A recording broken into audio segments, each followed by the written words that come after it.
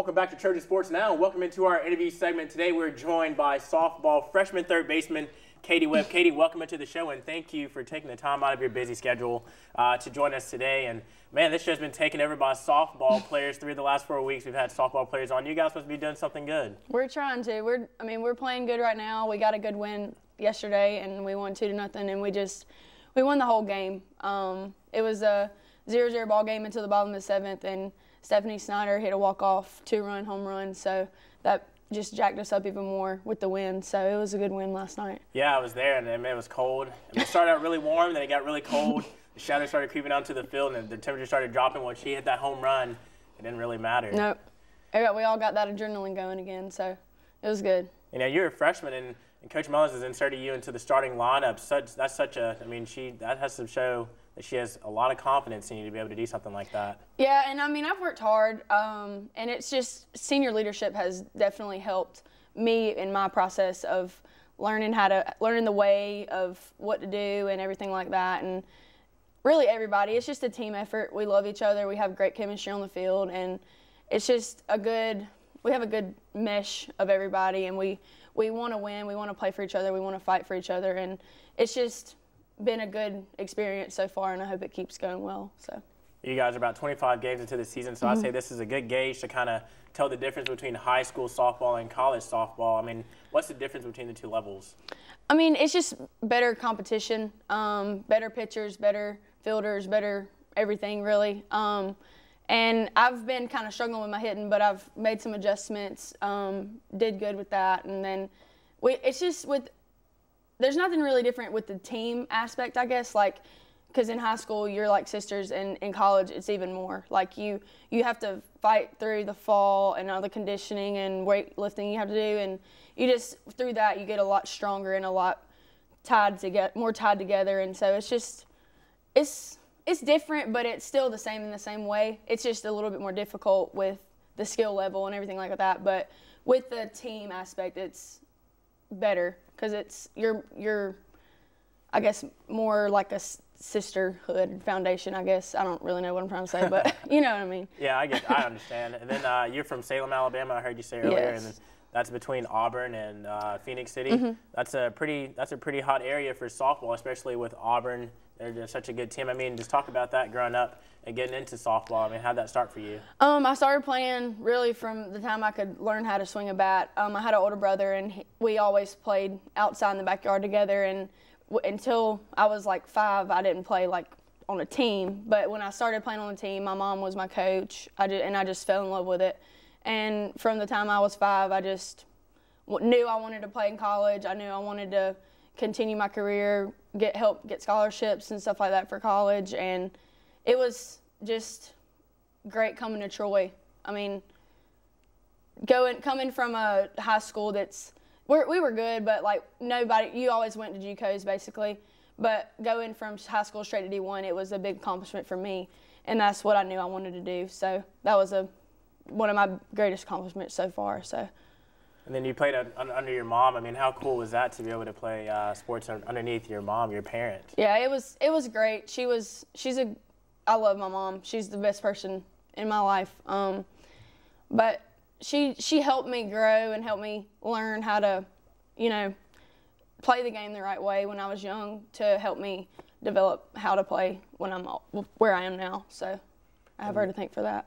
And then uh, you have you have a brother. I mean, uh, do you, you guys play any other sports besides baseball, softball around the house? No, not really. I mean, he played football a little bit when he was younger, um, but nothing serious. And we were baseball and softball. That's all we knew year round. And he actually went to Alabama and played for a little bit, and then he's about to graduate in May. So he he's my role model. He is who made me want to work hard, um, and he's just my hero. Um, I love him. He's my big brother, you know. So I want to do everything he does. Did he also play third base? No, he was an outfielder. He's a lot faster than I am. So he's really fast. So he was a center fielder, left fielder. So. But would you say you have the better reactions? I mean, you play the hot corner. Oh yeah, for sure. I've learned a lot from him, but I feel like I can outplay him. and then uh, uh, you throw right-handed, but you hit left-handed. Is that That's correct? Right. I mean, mm-hmm. how did that start? That's kind of.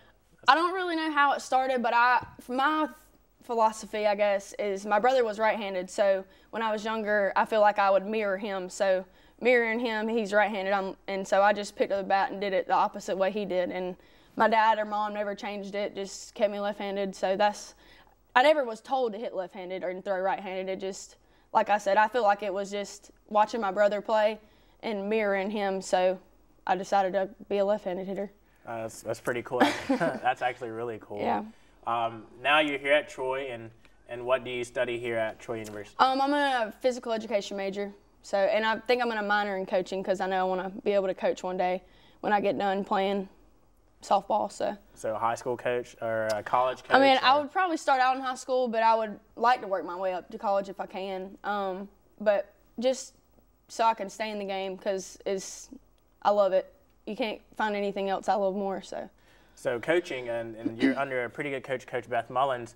So what do you think that uh, before your time here at Troy is done that you could potentially take from her and incorporate it into your game and, and kind of learn when you become a coach one day? Really, almost everything she teaches is something that I agree with. I mean, the way she teaches hitting, the way she does fielding, and she's actually helping a lot with pitching, and they've done so well this year. So she's just an all-around great coach. Um, I respect her very much. She's just, um, I don't know really, but everything she teaches us, I agree with, and that's good as a player for to take in. Like, it's just she's not somebody that just says something and doesn't really know what she's saying. Like she she knows what she's doing. She knows how to teach you how to do it. And if you don't understand, she's very easy to go to and ask questions. She's just a great coach to do stuff like that.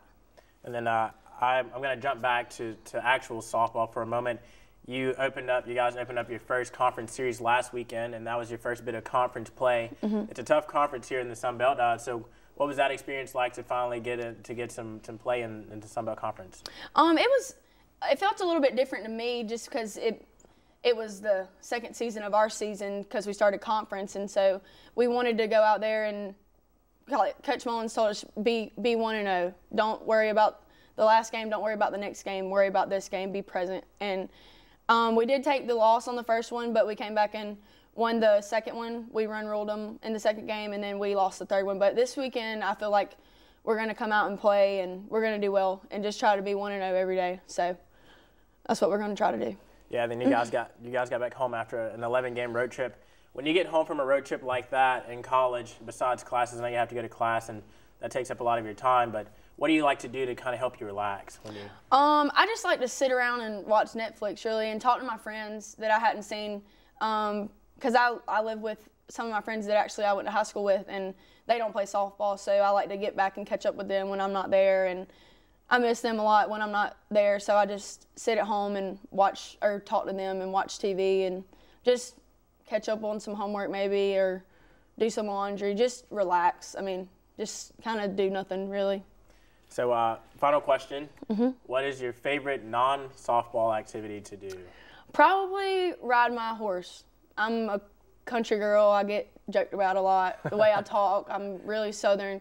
Um, but I like to ride my horse. His name's Chance, and I miss him too, not being able to be home. But I like doing that. So being outside. There we go. Katie Webb, lover of horses, and also the starting third baseman as a freshman on the Troy softball team. So, Katie, good luck to you guys this weekend in Sunbelt Conference play. And thank you for joining us on our interview segment. Stick around for more Trojan Sports Now coming your way.